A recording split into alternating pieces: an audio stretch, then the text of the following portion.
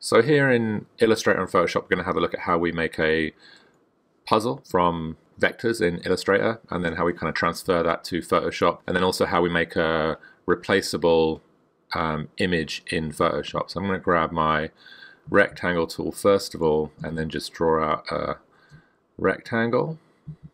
And we need four of these so we're going to do a simple puzzle here. So I'm just holding down the alt key to duplicate this and then for the puzzle itself, um, we're going to grab the ellipse tool here and just draw an ellipse that overlaps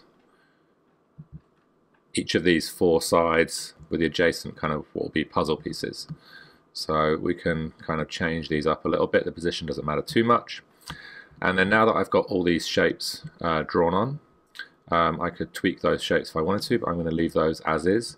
I'm going to use this intersect option in the Pathfinder. So if you go to Window and Pathfinder, bring that up, bring up the Pathfinder window and we can intersect all those shapes. So basically, if we go to our direct selection tool here, we've got each of those individual shapes. And what we need to do now is have one puzzle piece um, with a kind of indented shape and then I'm holding down shift to add to that shape. So now that will be the outdented part. So if I join those together using the Pathfinder Unite option, and you can see that's a separate shape. And then I can do the same across here. So I'm just holding down Shift. And now same here, holding down Shift and uniting them. And then the last one here.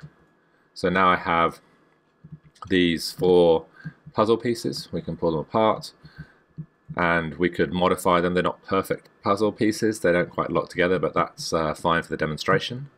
And so basically now what we can do is we can take these into Photoshop and kind of make a puzzle from them. So I'm going to copy all of these at the same time.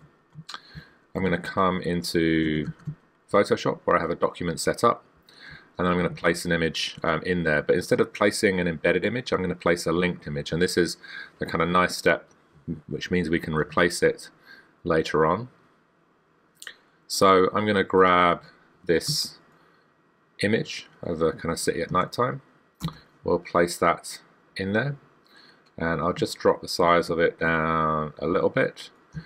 And so now if I go to edit and paste, I'm pasting my paths and I want to paste paths from Illustrator onto that shape and basically what will happen is because I'm pasting onto that layer it's actually cropping that layer with those um, pieces of my puzzle as a vector layer there. So now if I come to my selection tool, you can see I can select each of these individually. Super simple puzzle. We obviously need four layers with this puzzle on it. And so now I'm going to drag this down and just make four versions of this and we'll go through and delete all but one uh, piece of that puzzle for each layer. So I'm going to go to the top layer.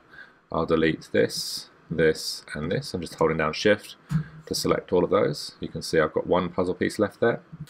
I'll now delete on the next layer down this one, this one, and this one. We'll delete that. And then on this one, I'm going to hold down shift and we'll just delete those three. So the last one, we're coming to the bottom left piece, which we'll leave. And then we'll delete these three, again holding down shift to delete those three. And now we have, if we grab our move tool, um, the different pieces of the puzzle. So now those are all separated.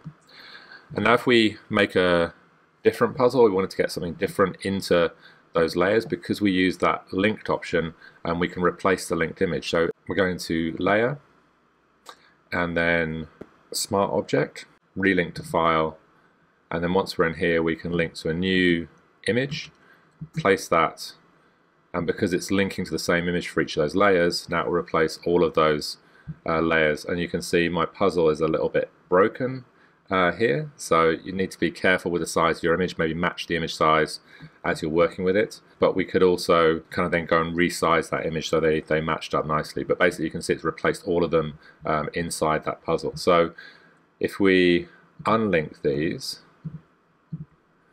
I'm gonna just select the images and I can I can't really move these in here uh, to kind of get them to fit because I have to move them by the same amount for each image. So I would need to kind of remake that um, but you can see uh, how we could move them around uh, within those shapes but it'd be better to kind of pick an image that was the same size so we could open up this image and then if we go back in fact so this original image if I go to file open and we'll go back to our original nighttime image.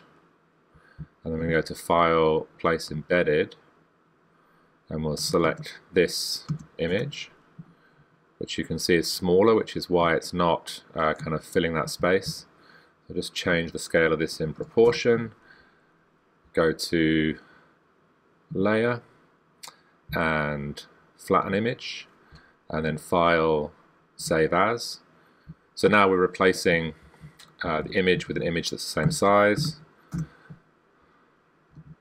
And so now if we come back to our puzzle and go to layer and smart object and relink to file we'll select this new version of that layer. So matching the image size would be one important part of this puzzle. So now you can see as long as the image is the same size we can replace the puzzle pieces and however complicated that puzzle was we would have a new image inside that puzzle